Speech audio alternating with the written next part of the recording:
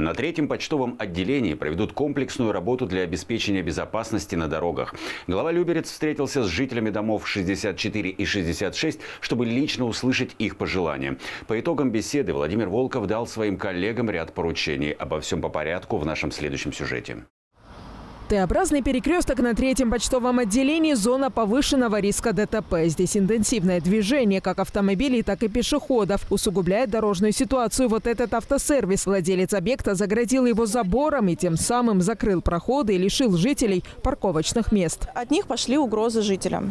То есть нельзя парковаться, нельзя сюда подходить, нельзя здесь проходить и так далее. Плюс там хранение шин стало, там хранение различных каких-то строительных материалов. Ну, то есть там просто устроили склад непонятный опять же обращались с просьбой, пожалуйста, навести порядок, но, к сожалению, видите, вот э, владелец данного помещения в грубой форме отвечает всем, отказывается, они прячут эти шины. Наводить порядок владельцу автосервиса уже не надо. В ближайшее время нестационарный объект демонтируют. Причиной тому отсутствие разрешительных документов и многочисленные нарушения. Установлено нарушение всех норм, норм безопасности, санитарных норм.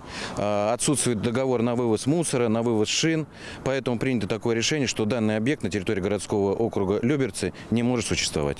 В настоящий момент идет сбор документов, по результатам которого будут поданы соответствующие документы в суд для его демонтажа в принудительном порядке.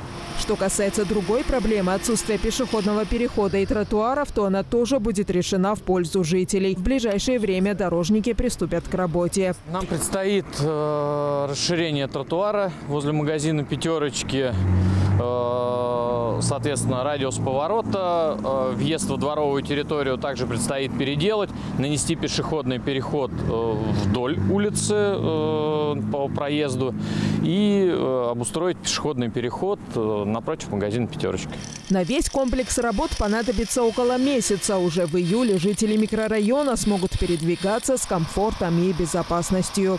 Луиза Игиазарян, Сергей Гвоздев, телеканал ЛРТ.